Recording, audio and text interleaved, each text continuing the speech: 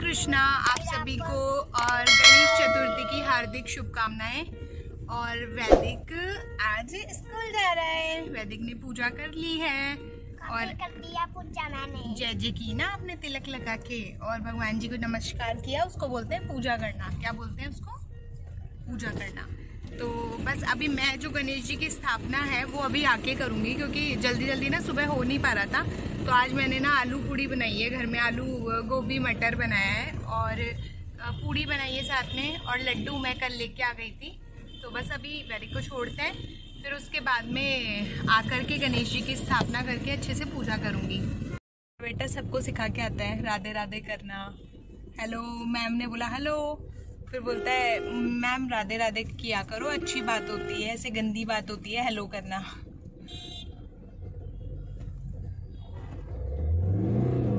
कितना रश हो जाता है यहाँ पे।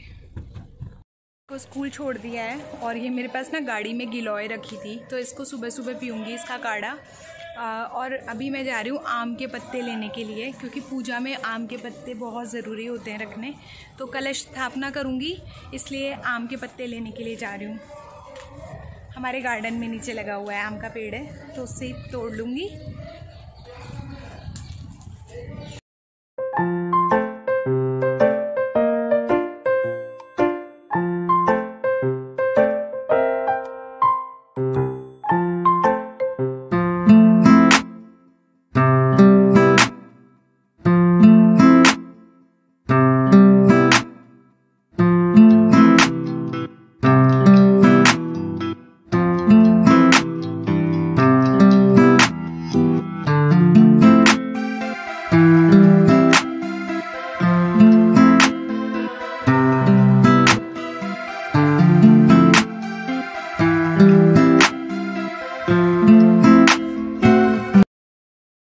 जा रही हूँ वैदिक को लेने के लिए टाइम हो गया है। और आज मैं आपको कराऊँगी गणपति जी के मंदिर के दर्शन। हमारे यहाँ पे ना पड़ोस में बहुत अच्छा पांडाल लगता है मन, ये गणपति जी का। तो उस पांडाल के दर्शन मैं आपको कराती हूँ। पहले वैदिक को लेके आऊँगी लेकिन उसके बाद जाऊँगी वहाँ पे। तो वैदिक को तो क्या है मैं जैसे स्कूल से लिया उसके बाद ही मंदिर जाऊँगी सीधे। और बस फिर वहीं से आपको दर्शन कराऊँगी। और बहुत अच्छा मतलब बहुत बड़ा फेस्टिवल होता है। हमारे उधर पास में ही है, ज़्यादा दूर नहीं है हमारे घर से। तो मैं वहाँ पर आपको लेके जाऊँगी। और बोल रहे हैं, बहुत अच्छी डेकोरेशन हुई है इस बार। वैसे तो हर बार होती है सेवन डे टेन डेज़ का ही फेस्टिवल होता है। उसके बाद भंडारा होता है वहाँ पर बहुत बड़ा। तो मैं आपको अभी वहाँ पर लेके चलती हूँ।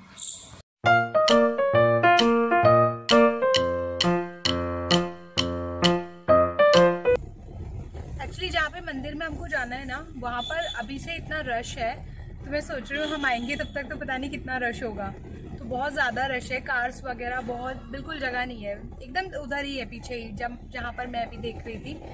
तो बस वही चेक कर रही थी कितनी स्पेस है या नहीं है। तो कार उसी अकॉर्डिंग पार्क करूँगी, फिर वैदिक को ना गोद में उठा के लेके जाना पड़ेगा।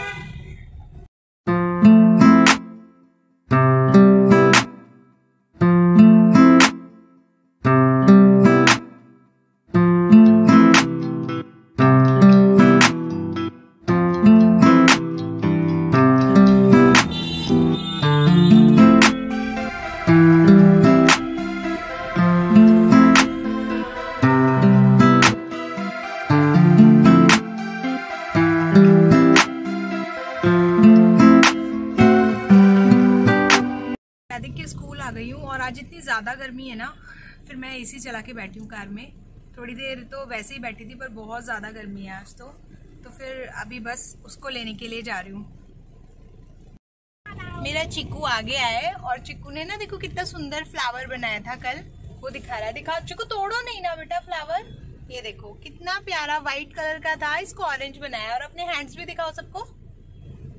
ये देखो, इसके ऑरेंज भी हो गए हैंड्स फ्लावर को पकड़े पकड़े अब हम लोग जा रहे हैं गणपति टेंपल और मैं आपको वहाँ के भी दर्शन करवाऊँगी। है ना चिक्कू? करवाएँगे ना सबको? बोलो तो सही सबको मैं आ गया हूँ स्कूल से। इधर देख के बोलते हैं कैमरा में। बोलो अब मैं मम्मा के साथ टेंपल जा रहा हूँ। ओके। ना मंदिर जा रहे हैं आप लोग। बस यहाँ से ना पैदल जा रहे हैं क्योंकि ऑलरेडी एक राउंड काट चुकी हूँ। पार्किंग बिल्कुल भी नहीं मिल रही है। तो बस पार्किंग देखो कितनी ज़्यादा भरी हुई है यहाँ पे। तो मैं और चिको अपने मंदिर जा रहे हैं। और नाइट में ना सारी लाइट्स यहाँ पर जलेंगी, बहुत खूबसूरत लगेगा नाइट में तो। तो अभी तो हम डे में ऐसे ही आ गए थे दर्शन के लिए।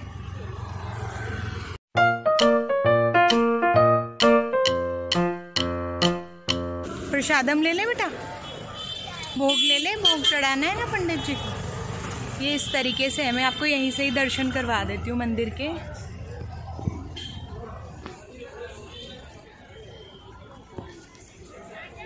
तो रुक जाओ बेटा। घर आ गए थे, उसके बाद में अब छः बज रहे हैं, वैदिक सो के उठ गया है। और अब मैं बनाऊँगी खाना। गणेश जी को भी भोग लगाना है, कान्हा जी को भी लगाना है, और उसके बाद में आरती कर देंगी बस। ये ये रे गणेश जी। यहाँ पर राधा कृष्ण जी और बिहारी जी। अब भोग लगाऊँगी मैं बस। हम लोग छत पे आए हैं अभी, और आज ना मंदिर में इतनी सुंदर लाइटिंग है, लेकिन मैं इसको लेके नहीं गई। एक्चुअली हस्बैंड भी जल्दी आ गए, आज छः बजे ही आ गए थे वो। तो साढ़े छः बजे, पौने सात हो रहे हैं अभी। हमने भी साढ़े छः बजे खाना खा लिया था। आज बनाए, लौकी वाली दाल बनी है और उसके साथ थोड़े से राइस खाए थे मैंने। और वैदिक ने भी खा लिया है मेरे साथ में। अब हस्बैंड खाएँगे, क्योंकि मुझे आज ना आरती भी करनी थी तो गणेश जी की भी आरती थी, कान्हा जी की तो मैं करती हूँ। और इसके साथ साथ बस यही सब चल रहा है। अब कल देखते हैं, कल कैसे प्लान करते हैं नेक्स्ट डे तो कल भी फ्लावर्स लाके और पूरा मंदिर डेकोरेट करूँगी। और उसके बाद में फिर हम लोग नेक्स्ट डे जो है वो सेलिब्रेट करेंगे। तो मैं सोच रही हूँ इस बार ना गणपति जी को पूरे ही दिन रखूँगी।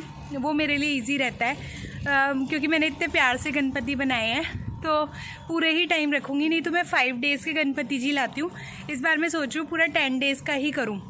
तो सोचा तो यही है कि टेन डेज़ तक कर पाऊँगी मैं। वैसे भी मुझे लहसुन प्याज की दिक्कत होती नहीं है मैं खाती भी नहीं हूँ तो मुझे कोई प्रॉब्लम नहीं है। तो मैं टेन डेज़ तक करूँगी गणपति जी का। आज ना को यहाँ पे एक बिल्ली आई थी गई अब तो। बट फिर भी इधर मत जाना बेटा क्या पता आ जाए। यहाँ पे आज बहुत गर्मी हो रही है टू डेज़ से बहुत ज़्यादा गर्मी हो रही है। मतलब कोई सोचता है ना वैसे तो इतना अच्छा मौसम हो रहा था दो तीन दिन पहले तो दो दिन पहले तो। हाँ जी। सकता हूँ कौन सा? वो वाला। हाँ जी आ जाओ ज़रूर। एक पाइप है, उसके ऊपर लटकता है तो उसको कह रहा है, मम्मा, मैं झूला झूल सकता हूँ।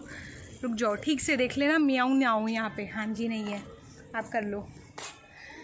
गर्मी सी है, पर टाइम चल जा टाइम पास हो जाता है, छत पे आके ना थोड़ा खाना डाइजेस्ट हो जाता है आपका। तो बस आज वैदिक ने खाई थी पूड़ी। वैदिक को ना पूड़ी बहुत ज़्यादा पसंद है, बहुत ज़्यादा। आलू पूड़ी पसंद है इसको। तो आज तो गोभी भी एक्चुअली ना आने लग गई यहाँ पे। वैसे तो गोभी आती नहीं है इस मौसम में, लेकिन पता नहीं अभी मिलने लग गई है। बोलते हैं शिमला की तरफ़ आ रही है तो वहाँ से आती है यहाँ पर।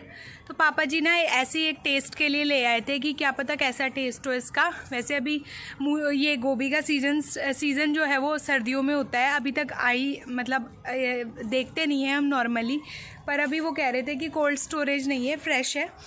हमने ट्राई की आज। अच्छी लगी। वैदिक, इधर आओ, कम। और फ्रेश थी लोग जो गोभी थी। ऐसा नहीं था, एकदम कच्ची कच्ची होती है ना, वैसी थी, बहुत टेस्टी थी। तो बना ली हमने आज। और अब देखते हैं कल क्या बनाएँगे। तो मुझे क्या होता है कि थोड़ा ना बैलेंस करके बनाना होता है।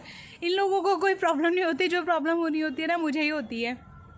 आज मैंने सुबह से साड़ी पहनी हुई थी, फिर फाइनली मैंने ड्रेस चेंज की और मैंने ना ये पहना पजामा टी शर्ट पहना, फिर और अब देखते हैं क्या करना है नेक्स्ट डे की प्लानिंग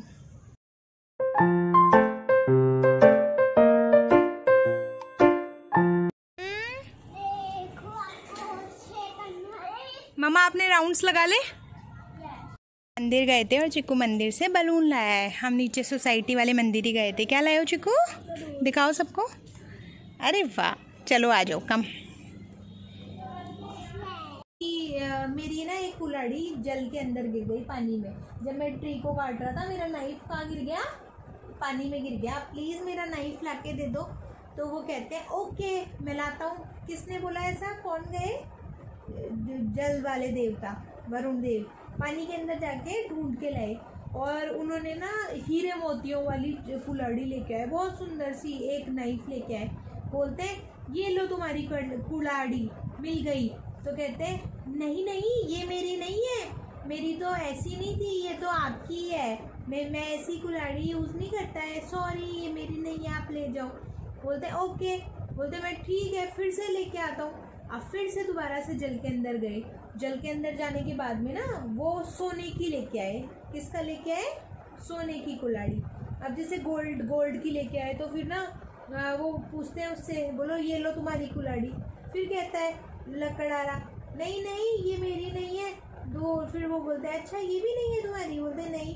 बोलते, फिर कैसी है? बोलते, दोस्तों, इस तरह से कहानियाँ सुना सुना के मैं चिकू को नाइट में सुलाती हूँ तो ये एक बहुत अच्छा पेरेंटिंग का तरीका है। आप ही इसे अपने बच्चों के साथ आजमाएँ और बच्चों को नाइट में अच्छी कहानियाँ सुनाकर सुलाएँ। फिर ना उन्होंने वो देवता आए, वो बोले, अरे वाह